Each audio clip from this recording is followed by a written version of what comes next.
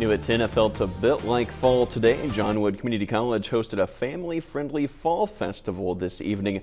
Several fall-themed events, including an indoor trick-or-treat, a special haunted trail behind the college, and other activities were available for guests. Attendees also participated in a hayride, bake sale, and pumpkin painting. They also enjoyed some treats.